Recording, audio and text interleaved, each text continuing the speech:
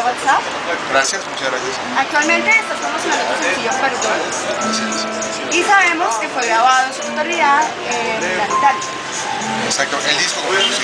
Ok, cuéntanos un poco de cómo fue grabado tu productor Ben 8, sí.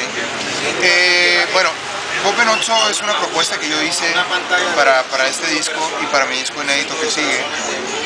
Porque es un eh, personaje que ha estado ahí en mi vida durante mucho tiempo. Yo soy, eh, yo soy de la idea que un productor tiene que dejarte ser parte de un disco no nada más vocalmente, tiene que dejar involucrarte en los temas, en los tiempos, en el tono, en la mezcla, en todo lo que conlleva un disco, ¿no? todo lo que es hacer un disco. Bob Benozzo y yo hicimos un disco en el 2004 con un productor eh, que se llama Emanuel Rupinengo, o sea, estuvimos trabajando en un disco italiano, eh, un disco que se grabó en Italia y yo metí la voz en México. Entonces no tuve la oportunidad en ese disco de involucrarme en toda esta parte y siempre me dijo, a mí me hubiera gustado que en este disco te hubieras metido y te hubieras, ¿no? te hubieras empapado, como decimos nosotros, de, este disco. Entonces no hubo esa oportunidad y siempre que iba a hacer un disco pensaba en Bob Benozzo.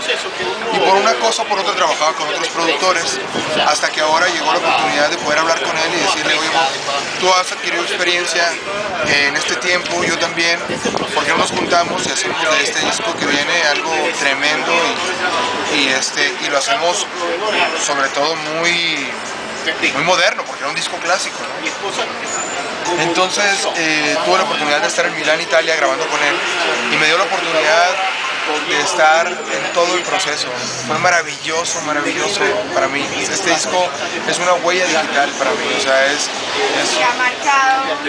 Me ha marcado, sí, es el parteaguas. Siento yo que a pesar de que es hasta el sexto disco, es el parteaguas de mi carrera. ¿Por qué un homenaje a Camilo VI? Bueno, eh, Camilo VI es un personaje que ha estado en, mi vida este, desde la niñez, yo creo que en toda Latinoamérica y España, en muchos lugares. Es un cantante, eh, es un autor, es un arreglista, es una persona sabemos, talentoso, con grandes canciones y todo, pero aparte de eso, es una persona muy querida. O sea, Camilo Sesto, la gente le tiene un cariño y un respeto tremendo como intérprete, como persona, o sea, de cualquier manera, él siempre tiene una magia eh, en el recuerdo de la gente. Entonces, Camilo Sesto no tiene un tributo. Es curioso, pero nadie le ha hecho un tributo. Y yo eh, lo conozco de hace tiempo y había pensado en hacerle un tributo, pero no sabía cuándo iba a llegar. Así que un día la izquierda me dijo, oye, deberíamos hacer un tributo para Camilo Sesto.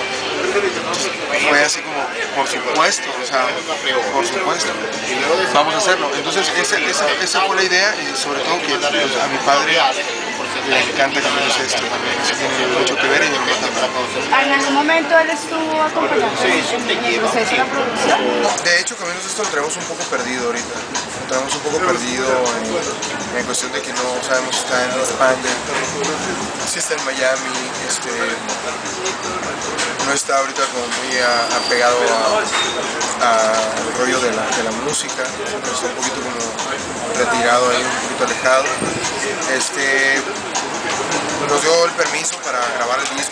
Y estamos esperando respuesta, a ver cuándo podemos eh, juntarnos, escucharlo, saber qué, qué va a pasar. ¿Y has pensado hacer en el momento duro con él?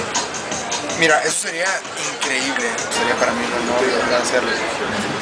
Y hay otra cosa que se me antoja, es grabar eh, mi voz en sus pistas, en las originales.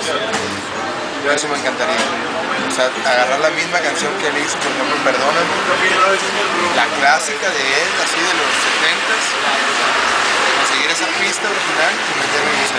Eso me encantaría. Grabar con un micrófono de esa época en un estudio que tenga ese tipo de formato, o sea, todo. ¿Te gustaría hacer un video también así como de esa época? No, sí, me encantaría, me encantaría. ¿Cómo ha evolucionado tu música desde el primer sencillo que hiciste hasta el día de hoy?